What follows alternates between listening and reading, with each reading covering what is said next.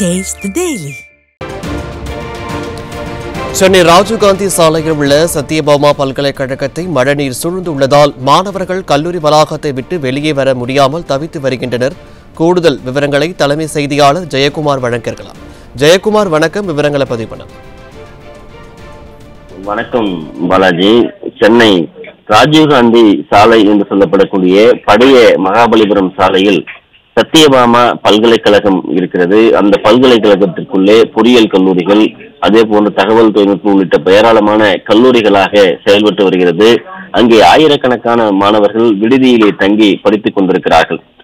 சில மணி நேரம் பெய்த மழையின் காரணமாகவே இவ்வளவு வெள்ளம் பெருக்கெடுத்திருக்கிறது. நாம் பார்க்கக்கூடிய காட்சி அந்த சத்தியபாமா பல்கலைக்கழகமா அல்லது ஏரியா என்கிற மிகப்பெரிய ஒரு கேள்வி எழுந்திருக்கிறது.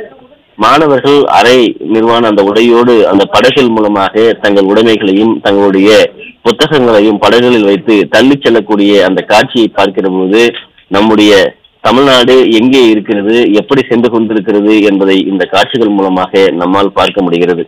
நாங்கள் டேக்கர்களை வைத்திருக்கிறோம் ராட்சத ஜெனரேட்டர்களை வைத்திருக்கிறோம் மழைநீர் வடிகால் வாரிய பணிகளை முடித்து விட்டோம் என்று மார்த்தட்டி கொள்ளக்கூடிய ஸ்டாலினின் திமுக ஆட்சியில் இப்படிப்பட்ட அவல நிலைதான் தற்போது நிகழ்ந்து கொண்டிருக்கிறது. குறிப்பாக நே- இந்த நேற்று முழுவதுமாக அந்த கல்லூரியில் இருக்கும் அந்த பல்ல பல்ல அறிவியல் மற்றும் பொறியியல் கல்லூரி இருக்கக்கூடிய மாணவர்கள் கல்லூரி விடுதிகளை விட்டு வெளியேறுவதற்காக இந்த படகுகளை பயன்படுத்தியிருக்கிறார்கள். எப்படியாவது இந்த பல்கலைக்கழக வளாகத்தை விட்டு வெளியே சென்றால் போதும் என்கிற ஒரு மனநிலைக்கு மாணவர்கள் தள்ளப்பட்டிருக்கிறார்கள். ஏற்கனவே இந்த சாலையை கார் ரேஸ் நடத்தப்பட்டிருக்கிறது.